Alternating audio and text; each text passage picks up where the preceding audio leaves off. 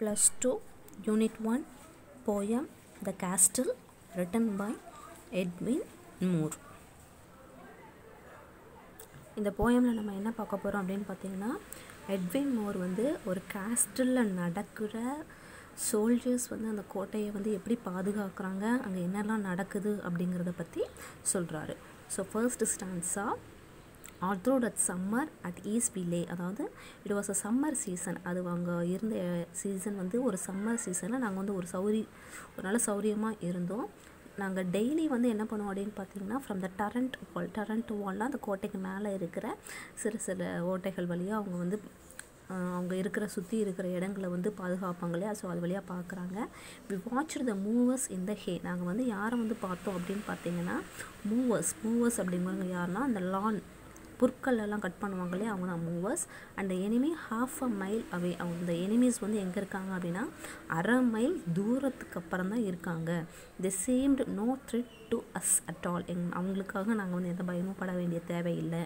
So second ஸ்டான்ஸால் for what we thought had we to fear நாங்கள் எதுக்காக பயப்படணும்? அவ வித் அவ ஆர்ம்ஸ் எங்ககிட்ட ஆர்ம்ஸ் அப்படிங்கிறது வந்து எங்ககிட்ட படைவளம் நிறையா இருக்குது ப்ரொவெண்டர் அப்படிங்கிறது வந்து ஃபுட் ஸோ ஃபுட் இங்கே தேவையான அளவு இருக்குது லோட் ஆன் லோட் நிறையா இருக்குது our towering battlements tier on tier towering battlements அப்படிங்கிறது டவர் மாதிரி ஒரு பெரிய உணவு குவியல் வந்து எங்ககிட்ட இருக்குது பேட்டில்ஸும் எங்ககிட்ட இருக்குது டயர் ஆன் டயர் அப்படிங்கிறது வந்து இந்த ட்ரெயினில் வந்து டயர் த்ரீ டயர் ஏசி அந்த மாதிரிலாம் போட்டிருப்பாங்க இல்லையா? டயர் அப்படிங்கிறது அடுக்கு. ஒவ்வொரு அடுக்கு. அதை தான் டயர் அப்படின்னு சொல்லுவாங்க. And friendly allies draw near அது போக நாங்கள் வந்து எங்கக்கிட்ட வந்து ஃப்ரெண்ட் சோல்ஜர்ஸும் நிறையா இருக்காங்க. அதனுடைய நட்பு நாடுகளும் எங்ககிட்ட வந்து எல்லாமே இருக்குது அப்படின்னு சொல்லி சொல்கிறாங்க on டிஃபி every summer role so வந்து ஒவ்வொரு கோடைக்கால தருவலையும் வந்து இந்த மாதிரி தான் இருக்குது அப்படின்னு சொல்கிறாங்க third ஸ்டான்ஸாக our gates were strong our walls were thick எங்களுடைய கை கோட்டையோட கேட்ஸ் வந்து ரொம்ப ஸ்ட்ராங்கானது எங்களுடைய வால்ஸ் வந்து ரொம்ப திக்கானது so smooth and high smooth smooth அப்படிங்கும்போது ஹைட்டாக இருக்கும். ஸோ அது மேலே வந்து யாருமே வந்து நோ மேன் குட் வின் யாருமே அதில் ஏறி வர முடியாது. ஸ்மூத் அப்படிங்கிறது வலிக்கிட்டு போகும் இல்லையா? அதுதான். ஸோ அந்த மாதிரி வந்து இருக்குது எங்களுக்கு. ஸோ வந்து ஒரு எ ஃபுட் ஹோல்டு யாருமே அந்த இடத்துல ஒரு ஒரு பொசிஷனை எடுக்க முடியாது. எந்த ட்ரிக்கை வச்சும் அவனால் வந்து என்ன பண்ண முடியாது? மேலே ஏறி வர முடியாது. ஸோ அப்படி வந்து அவன் எங் அவங்க வந்து வந்தாங்க அப்படின்னா அவங்க வந்து ஒன்று டைடாக இருப்பாங்க. அப்படி இல்லைன்னாலும் உயிரோடையோ அவங்க வந்து உள்ளே வந்துட்டோம் அப்படின்னா அந்த கோட்டையிலேருந்து வெளியே அவனால் போக முடியாது. Could take us death or quick so only bird could have got in only உள்ளே யார் தான் வர முடியும்னா பேர்ட்ஸ் மட்டும்தான் உள்ளே வர முடியும். What could they offer for faith அவங்க வந்து என்ன வந்து என்ன சொல்லி அவங்க வந்து தூண்டியிருப்பாங்க? பெயிட் அப்படிங்கிறது வந்து தூண்டுதல் இல்லைனா வந்து லஞ்சம் அப்படின்னு சொல்லலாம். அவர் கேப்டன் வாஸ் பிரேவ் எங்களுடைய captain எப்படிப்பட்டவர்னா brave and also he was very true உண்மை உண்மையானவர்.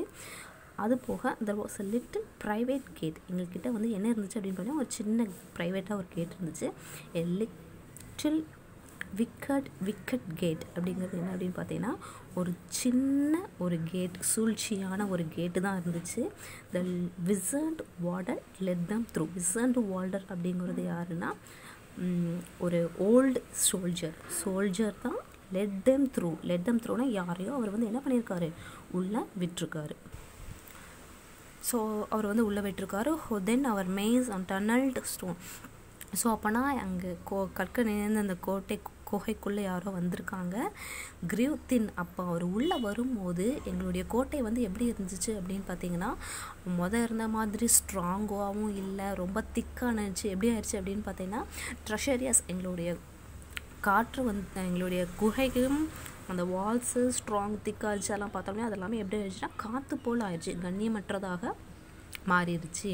The cause was lost without a crown நாங்கள் வந்து எந்த சத்தமும் எந்த கஷ்டமும் இல்லாமல் வந்து எங்கள் கோட்டையை வந்து நாங்கள் வந்து இழந்துட்டோம்.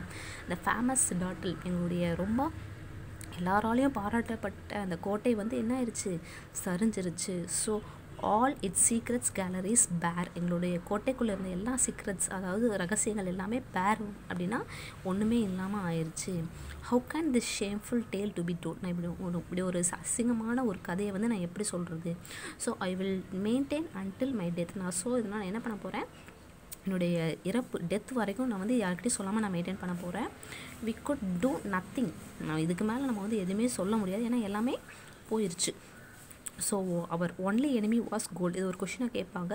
Who was the real enemy gold அப்படிங்கிறது தான் answer and we had no arms to fight எங்ககிட்ட இந்த வந்து எதுவும் என்ன இல்லை. எதுவுமே எங்ககிட்ட இல்லை. ஸோ ஏன் அப்படின்னு பார்த்தீங்கன்னா கோல்டு தான் எனிமி ஸோ கோல்டு கூட நம்மளால் வந்து ஃபைட் பண்ண முடியாது. ஸோ இதை தான் வந்து கேஸ்டில் அப்படிங்கிற ஸ்டோரி போயமில் வந்து எட்வின் மொயிர் வந்து சொல்லியிருக்கிறாரு. ஸோ போயட்டை பற்றி பார்க்கலாம். எட்வின் மொயிர் இவர் வந்து யார் அப்படின்னு பார்த்தீங்கன்னா ஒரு ஸ்காட்லாண்டரில் உள்ள ஒரு போயட் கவிஞர். அது போக இவர் வந்து நிறையா நாவலிஸ்ட் நாவல் எழுதுகிற ஒரு டிரான்ஸ்லேட் பண்ணுற ஒரு டிரான்ஸ்லேட்டர்னா மொழிபெயர்ப்பாளர். அது போக கிரிட்டிக் அப்படின்னா சிறந்த விமர்சனம் செய்வராகவும் இவர் வந்து இருந்திருக்காரு. இவர் வந்து உணர்ச்சி மிகுந்த பாடல்களாக வந்து இவருடைய பாடல்கள் வந்து சொல்லிகிட்டு இருந்தாங்க. இவர் வந்து நிறைய போயம்ஸ் கவிதைகள் வந்து இயற்று இயற்றுவதில் வந்து அவருடைய ஓல்டு ஏஜ்லேருந்து அவர் வந்து ஸ்டாப் ஸ்டார்ட் பண்ணியிருக்காரு. ஒரு வயது முழுத காலத்துலேருந்து தான் அவர் வந்து ஸ்டார்ட் பண்ணியிருக்கிறாங்க. அதுக்கப்புறம் என்ன அப்படி பார்த்தீங்கன்னா இவருடைய ஃபஸ்ட்டு போயம் அதாவது ஃபஸ்ட்டு போயம்ஸ் அந்த chorus of the newly dead இதெல்லாமே இவருடைய ஏர்லி லைஃப் அதாவது ஃபஸ்ட்டு இனிஷியல் அட்டம்ஸ்னால் முதல்ல எழுதின போயம் அதுக்கப்புறம் முயிரோட லாஸ்ட் அதாவது லேட்டர் அதுக்கப்புறம் எழுதின போயம்ஸ் என்னென்ன அப்படின்னு பார்த்தீங்கன்னா variations on a time theme the narrow place the voyage and the other poems the labyrinth mud and the one fourteen Eden so இதுதான் போயட்டை பற்றினது ஸோ க்ளோசரி பார்த்துக்கோங்க.